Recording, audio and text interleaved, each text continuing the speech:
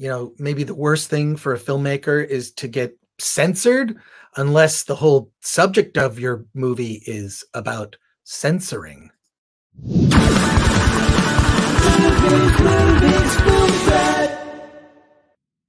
Welcome to the Film Threat Podcast. I am Chris Gore, and I am pleased to talk to you today about a fairly unusual horror, suspense, thriller.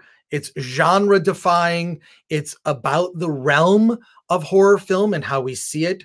It's through the eyes of a woman who plays a film censor in England. And we have Prano Bailey Bond, the director of Censor, here with us today on the Film Threat podcast to talk about her movie. Uh, thank you so much for taking the time to talk to us.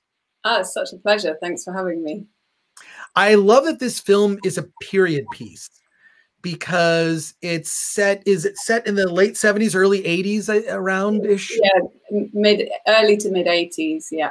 Yeah it i love that because i don't know i guess today you know uh modern devices like cell phones are so much a part of the plot that i'm glad that that is just sort of taken away. And this era there was that era in the 80s of 80s horror that really it seemed like every movie was taking it one step too far so setting a film around in that era around uh, uh, people who work in on, on the film censor board was fascinating. How much went into research to ground this movie in a reality of that era? And were there nods to horror films at that time? Yeah, yeah, totally. I mean, this era is fascinating from a, a, UK perspective because basically the birth of VHS led to this like boom in low budget horror becoming available, which could now go direct to the home. And in the UK, um, the thinking was that these films were going to sort of spawn the next generation of murderers and psychopaths, that people could now rewind and rewatch these horrible scenes over and over again. And it was going to do something to our brains that was going to make us go out and garrot each other with shoelaces or whatever weapon we could find lying around the house. So it's a really rich period to sort of explore our relationship um, with horror film.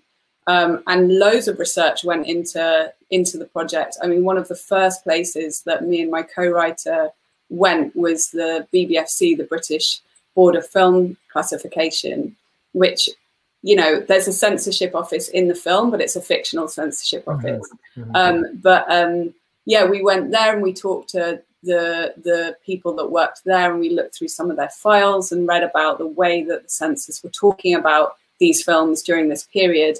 I spoke to film censors who worked there during the time.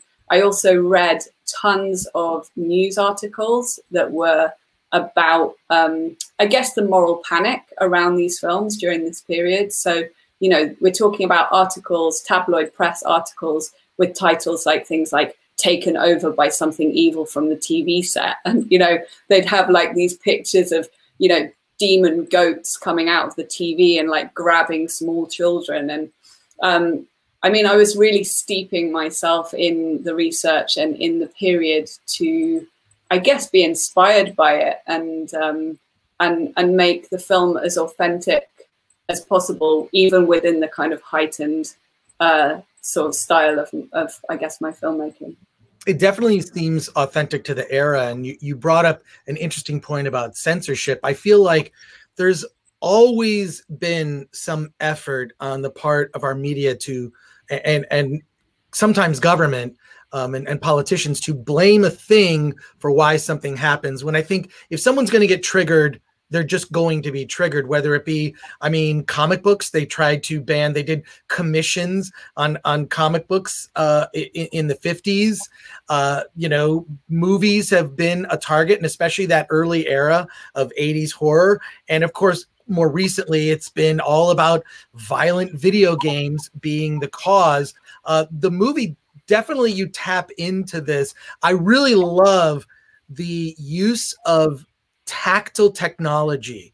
And by that, I mean, you know, typewriters and physically taking notes. I mean, it took me aback watching it. I'm like, oh, yeah, we used to use those things back in the day. You know, fax machines and whatnot. I I really love that that you almost in a sense kind of fetishized over those details. Um, uh, I you may, maybe you didn't see it as that, but I I really thought that that, that attention to detail was amazing. But then there's a whole other story with your lead character and you know a trauma and a, a, a family tragedy that occurs I, I don't want to give away too much but that really that sort of takes the film down a, a whole different road and a, and a mystery that unravels um, through to the end um, what what inspired some of those aspects and and and whatnot uh, just just there's a there's so many layers to the film it really is like a salted caramel with lots of other candy bits in it. That's, that's at least how I saw it. I love that. That's uh, no one's described it like that before, um, but that's that's fine. I welcome that description. Um, I guess with um, with Enid's sort of backstory, I was always really interested in exploring both the idea of um, censorship in art and film, but also the way that we um, self censor um, and that can sometimes be out of our control. So, you know, sometimes our brains will censor something that's traumatic because perhaps we're not equipped in that moment to be able to deal with that trauma. And I wanted to, I guess, explore maybe the parallels and the dangers of both censorship in art and the idea of somebody not being able to access a memory um, and that that has maybe that event that they can't quite piece together has perhaps shaped who they are as a person. So you know, Enid Enid strives to protect through her censorship. I think David Cronenberg once said that the the censor who is driven to protect is the most dangerous censor of all. And um, that was a really great quote to have in the back of my head when I was thinking about the character that uh, through her backstory, um, you know, she she feels that she wants to protect, that she wants to make up for something, and that's perhaps why she became a censor in the first place. And it's what drives her decisions as a character. Um, so there were kind of a lot of links in terms of censorship, and then also in terms of the idea of um, ambiguous loss. So if we don't know what happened to somebody, if someone goes missing, then we fill the gap of knowledge with, I guess, fiction in a way. Um, we maybe uh, one day have to come to terms with maybe they're dead, so we grieve them. And then the next day think, well, I have no proof that they're dead. So how could I possibly give up on this search? They must be still alive. And, you know, you're constantly creating a fiction to um, fill that gap uh, of, of, of knowledge. And so I guess that was another way of exploring um, the relationship between fiction and truth in the film. I'm so glad you brought up Cronenberg because this really had um, at least echoes and whispers of of early Cronenberg, which I love. Um, and it for me personally, there was a shocking moment. There's a close up of a death certificate in the film and the date on the death certificate is my birthday. Oh wow. my actual birthday. I was so uh it, it, just I had to stop the movie and take a screen I took a screenshot. I'll post this on my Instagram or something, but it it just it took me aback of like, oh my god, like this is uh, uh yes, an extra level of of shock for me. um your lead character Enid goes down a path where um, I don't want to give too much away, but I began to question as she questions her reality. I feel like I'm questioning the reality of the film, and it really messed with my head. Can I ask like your like intention in some of those in some of those scenes? Because I thought, well, is that did she do that? Like I, I really i really had to question myself. I think i think i think it just needs uh, a repeat viewing to be able to because i i i believe that some of some of the occurrences are are in her she's she's just imagining some of it. Um maybe you don't want to give a conclusive answer, but I'm really just curious what your thoughts are because I love movies that I feel like the director is is is toying with me. Mm. Yeah, yeah. I mean, everything has to have an answer as the director. You always have to know what's really going on. But um, I won't give any conclusive answers because I think that destroys the experience for somebody coming into the film and watching it for themselves. But I, I really am fascinated by the lines, uh, the blurred line between fiction and reality. Um, so that was absolutely something that I wanted to kind of uh, play with and toy with through the film and how our reality is constructed. Um, so Enid is kind of constructing her reality, her perception of reality is being constructed through the film, even from things like, you know, the gap in her memory perhaps being filled with something that she sees in a film and how does that then affect her reality and and propel her to um, take action in reality and what are the consequences of that. So it's kind of like a overlapping continuous conversation between fiction and reality. Um, so yes, I'm glad it kind of twisted and blurred the lines for you. And I hope that uh, people do watch it a second time actually, because um, there's a lot of layers in there. So hopefully people see more. Um, but I'd leave it always to the audience to have their own experience with the film. Well, well, I do appreciate that you did that. Like, I, I just feel like memory is a an unreliable can be an unreliable narrator, right? Mm-hmm. I mean, there's, you know, um, uh, so so I, I'm glad that you toyed with with that idea. Uh, in in your research, I'm curious, like how I love how specific the Enid's like censoring of things is like when you see her taking the notes and some of the we have to do this and and whatnot. Um, and I feel like you created this entire fictional universe of filmmakers and movies from the 80s that had to be fun to have to recreate that and then to not only create like the things like that we may not have seen that were off screen that um, Enid was seeing and some of the other characters were seeing, and then you had to kind of fill in those details of like they're writing down specifics. How much fun was it to put together that uh, that universe and fill out that world? Oh my god, so much fun! It's like a playground for somebody like me who kind of loves these movies. Um, it was really fun actually because I guess there was a moment where I, you know, there's two reasons why I wanted to create those and not use existing films. Um, you know, one is obviously narratively, it has to kind of fit with Enid's journey. So you have to have films within the film that um, are operating on a narrative level that's going to kind of connect with what's going on in her head and and so they have to be bespoke.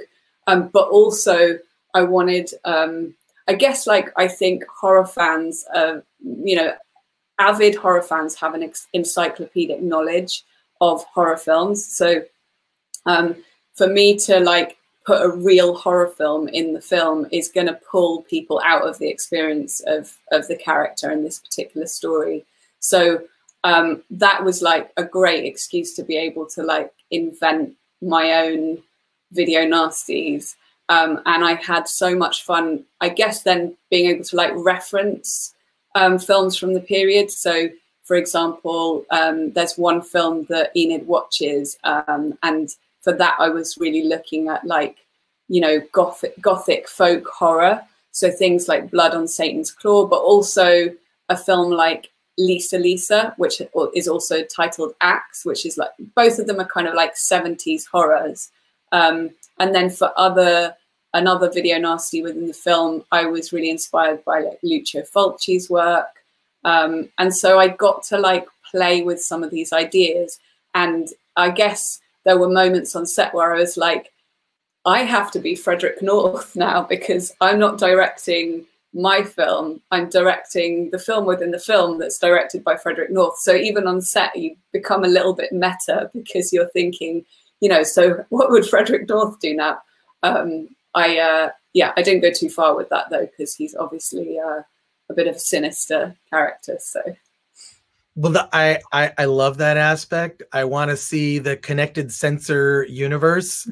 um, well, I you know censorship just as a conversation is so top of mind. I think you know especially online. And you mentioned earlier, you know, self censorship. I, I feel the film, you know, it, it's not that's not totally on the surface, but I really love that the film deals with those issues. They're re- they're really, you know, there really are these layers, like I said, like a candy bar where you discover a walnut that maybe you did not expect. But um, is, is that part of what also inspired it? I mean, the you know, in addition to the fun world building and whatnot, like there is a lot going on today with regard to censorship, and I think the film lightly touches on it um, mm. which I'm I'm pleased, but I'm curious as to your thoughts. Well, I mean, when we were developing the film, there were a couple of times where you know people would say, "Oh, well, why don't you set this? You know, why don't you make this a contemporary uh, film? Why does it have to be set in the past? Because films are still being censored now, and there's still uh, so much conversation around censorship now. But my reason for setting it in the past was one that this is a really rich period to talk about censorship, but also I think there's um, by looking back um, in hindsight, you can be slightly more objective.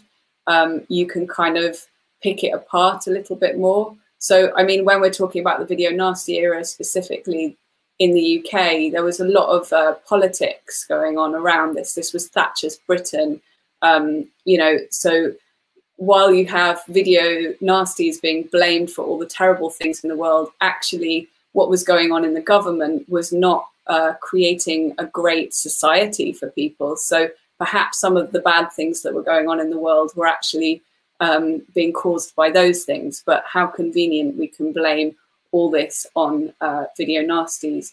But I do think, like when you talk about, I don't know, social media and and and I guess the contemporary world, I, I think it's more about how our reality is constructed. I guess that's one of the things that I, I think about a lot in terms of, you know, how is our perception of what's going on in the world constructed by, for example, what we're being told in the news, you know, and the things that uh, are being shared in the news and the things that aren't. So, you know, I think that's something I've thought about a lot over the last year in lockdown that in fact all my information of what's going on outside in the outside world is coming through my screen and coming through the news and coming through social media and is that actually reality or is that like a a construction you know and how does that affect me in my life and the way that i'm sort of seeing the world and seeing what's going on in the world.